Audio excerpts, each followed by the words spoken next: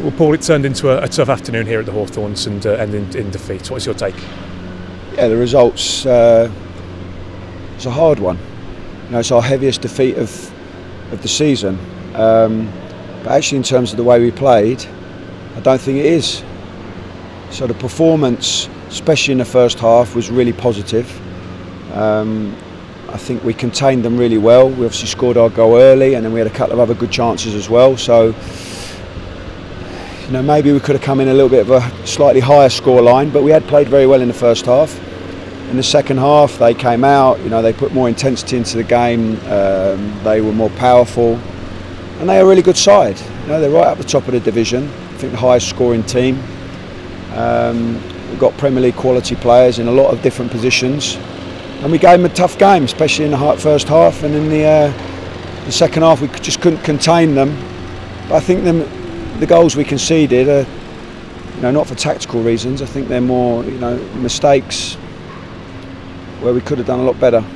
You mentioned the first half, the quality of the goal, the quality of some of the chances. That will give you some room for positivity.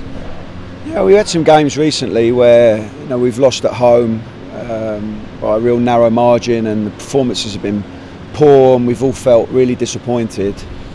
Today's a strange feeling because we've, you know, ultimately we're on the back end of a 4-1 defeat, which is you know, not easy to take.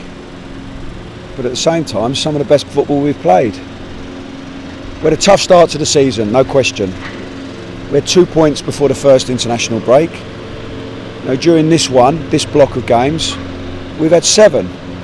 So we have made a forward step, and um, that's what we've got to try and do in the next block of games as well. You mentioned about West Brom as well. They've rolled over some teams very handsomely this season. They are a team that, as you say, can do that to, to clubs. So it's, uh, as you say, that's why the, the feeling is going to be a bit mixed today.